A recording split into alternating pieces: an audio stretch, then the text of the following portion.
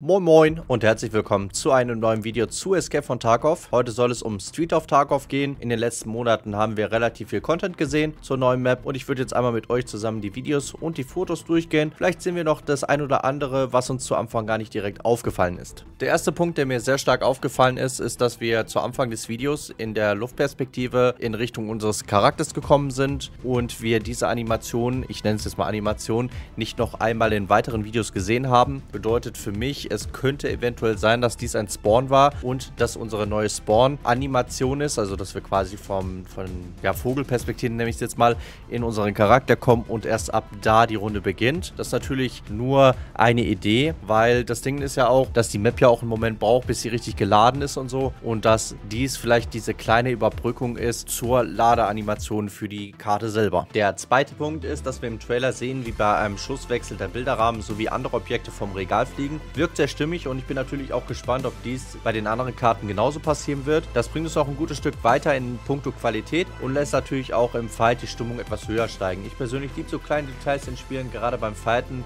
gibt es nochmal diesen gewissen Kick, den man in Häuserkämpfen haben möchte und da bin ich natürlich sehr gespannt drauf. Als dritten Punkt haben wir den bemannten BTA 80, ein sowjetischer Schützenpanzerwagen mit einer 30 mm Kanone des Typs 2A72 mit einem Triturm, feuert üblicherweise eine 30 x 165 mm Patrone ab, wenn man natürlich nach dem Originalvorbild gehen darf. Und ich denke mal, dass dieses Fahrzeug als Taxi gilt, also so wie wir die Exits auf den Karten selber kennen, nur dass wir dies nicht als Exit benutzen, sondern wahrscheinlich um von Punkt A nach Punkt B nach Punkt C zu kommen, ohne dass wir diese Strecke laufen müssen, weil ich denke mal, dass die Karte sehr groß sein wird und man vielleicht von einem zum nächsten Punkt sehr lange benötigt. Und so kann man dann gegen Rubel, gegebenenfalls Dollar oder Euro, ähm, wie beim Exit benutzen kann und man sich dann einen Punkt der Karte aussuchen kann, man dorthin gefahren wird. Und ich denke aber mal, dass wir diese Waffen auf dem Panzer selbst nicht benutzen können. Ich denke mal, das wird die KI dann benutzen. Ich bin dann auch mal gespannt, was wir als Gegenwehr bekommen, weil als Infanterie muss ich ja eine Möglichkeit haben, dieses Fahrzeug dann auszuschalten, wenn es dann vielleicht auf mich schießt oder ähnliche Sachen. Da bin ich auf jeden Fall mal gespannt, was wir dort in die Richtung noch bekommen werden. Zum Thema Scav-Bosse. Die Goons werden zu 100% auf Street of Tarkov sein. Ob weitere Scav-Bosse da sein werden, kann ich nicht jetzt zu jetziger Stelle sagen. Werden aber höchstwahrscheinlich kommen, weil ja die Karte eine bestimmte Größe hat und da wäre langweilig, wenn da irgendwie nur ein oder zwei Bosse drauf wären. Deshalb kann ich mir sehr gut vorstellen,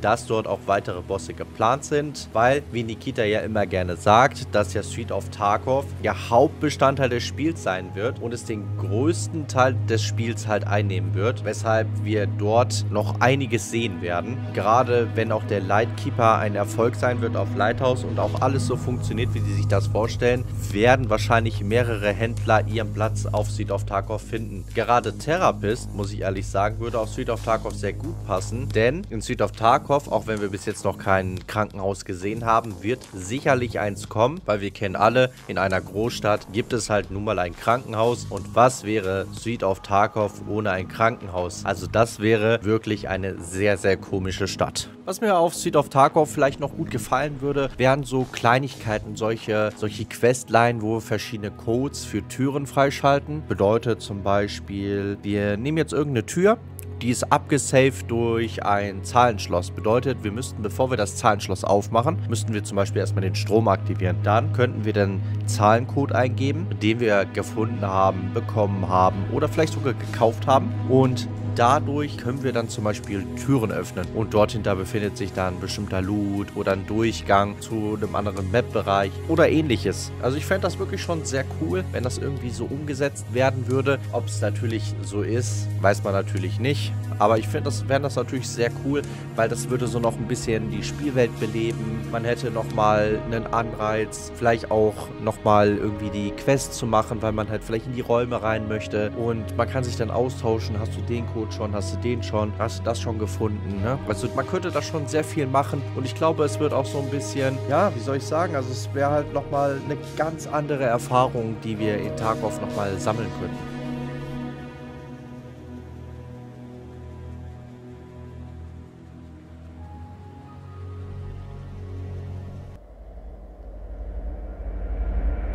Schön zu sehen ist hier, dass wir einmal das Pinewood Hotel sehen und im Hintergrund noch ein Gebäude. Das Hintergrundgebäude kann man von damals noch von einem uralt Bild noch einmal sehen. Das habe ich euch hier jetzt einmal in vier Etappen einmal aufgezeigt. Auf der linken Seite unten seht ihr das Bella Grande Café. Daneben seht ihr die Tarbank. Darüber seht ihr das blaue Gebäude plus das Pinewood Hotel von hinten. Das aktuelle Bild. Das rechte Bild oben seht ihr das alte Bild, was vor, weiß ich nicht, vier Jahren gepostet worden ist. Dort sehen wir den UN-Heli, den wir schon mal auf einem Bild gesehen gesehen haben, der abgestürzt ist. Das Bild blende ich euch jetzt gerade ein. Das hat man damals schon mal gesehen. Und äh, dann haben wir oben links noch ein Gebäude, das ähnlich aussieht wie das Pinewood Hotel, einmal von der einen Seite. Und dann sehen wir nochmal die Straßenansicht von dem normalen Hotel. Also ihr seht rechts dieses blaue Gebäude, dieses hohe Gebäude, neben dem Heli. Dann seht ihr unten das, den Heli und die Straße weiterführend von der anderen Seite nochmal, was ihr unten rechts seht quasi. Irgendwie ein sehr interessantes Bild. Das ist wirklich sehr, sehr alt. Aber man sieht, wie die Straßen dort weiterführen und dass man die Straßenbahnschienen scheinbar damals schon hatte. So, wenn wir jetzt noch das, äh, die Hauptstraße nehmen, sehen wir einmal rot umgrandet, einmal diesen Kreis, den wir einmal unten rechts und oben links sehen und das Gebäude links und oben rechts. Eigentlich sehr interessant, ob die Gebäude jetzt wirklich äh, zusammengehören, weiß ich nicht, aber man sieht halt unten rechts auch die Straßenbahn links. Das heißt, es könnte schon die Straße sein, die dort lang führt. Ein sehr interessantes Thema, muss ich euch sagen, weil ich habe das jetzt natürlich auch nur so gesehen, habe das so ein bisschen zusammengesetzt, geguckt nach alten Bildern, die ich noch so äh, kannte. Und genau, hier sehen wir jetzt nochmal dieses blaue Gebäude hinter dem Pinewood Hotel. Und ähm, genau, das können wir quasi auch nochmal am Kino sehen, plus nochmal an der abgestürzten Straßenbahn. Das bedeutet, irgendwie sind die Bilder schon relativ gut verknüpft miteinander. Wirklich sehr, sehr interessant. Und wir haben ja noch das Concordia, ähm, das große Hotel, was da ja noch kommt. Also ich bin echt mal gespannt, wie die ganzen Bilder zusammengesetzt sind und wie die Map an sich aufgebaut ist. Also es ist ja wirklich schon nur dieses kleine Teilstück ist ja schon extrem groß. In diesem Videoabschnitt sieht man möglicherweise ein äh, Goon Bereich, weil man dort eindeutig die Piratenflagge sieht. Bin echt mal gespannt, ob wir dort eventuell auch die Ropes haben, die uns das Leben dort eventuell schwer machen möchten. Ich habe auch schon gesehen, ein paar Bereiche kann man dort auch begehen und ja, das könnte auch ein sehr interessantes Gebiet werden. Ja, ihr seht, eine sehr interessante Sache. Mir gefällt die Map auf jeden Fall schon sehr gut, auf jeden Fall die Teile, die ich jetzt bis jetzt schon gesehen habe und bin auf jeden Fall mal gespannt, welche Bereiche später noch begehbar sind. Und das soll es dann auch schon gewesen sein für dieses Video. Falls euch das Ganze gefallen hat, lasst gerne einen Daumen nach oben da, einen Kommentar da und wir sehen uns beim nächsten Video wieder. Falls ihr mir auf Twitch folgen wollt, könnt ihr das gerne machen. twitch.tv slash mandrock7 und wir hören uns entweder im Stream oder beim nächsten Video. Bis dahin haut ihr rein und noch einen angenehmen